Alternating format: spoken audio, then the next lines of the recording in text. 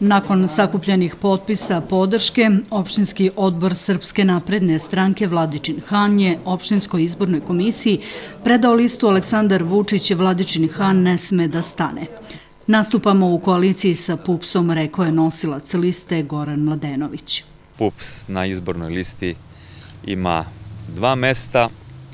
Onako kako zakon nalaže, obezbedili smo 40% na listi učešća drugog pola, odnosno u ovom slučaju to je ženski pol i danas smo predali opštinskoj izbornoj komisiji potpise. Juče smo takođe sakupljali potpise za parlamentarnu listu koja će nositi naziv Aleksandar Vučić, Srbija ne sme da stane i imamo, očekujemo predstavnika na toj listi iz Vladičinog Hana, kandidata za poslanika.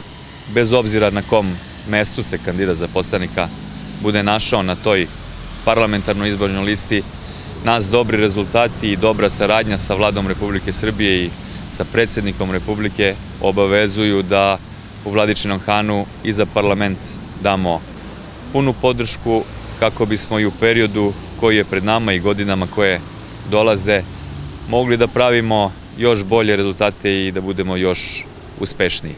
Ono što nas je okupilo su rezultati i sve ono što je u prethodnim godinama urađeno u Vladičinom Hanu, rekao je Mladenović. Naravno, želimo da u godinama koje dolaze još više radimo. Imamo nove projekte koje smo planirali, ali da bismo nastavili sa radom, važno je da na narednim izborima 17. decembra ostvarimo ubedljivu pobedu. Mi smo 2020. imali 24 odborničkih mandata od 37.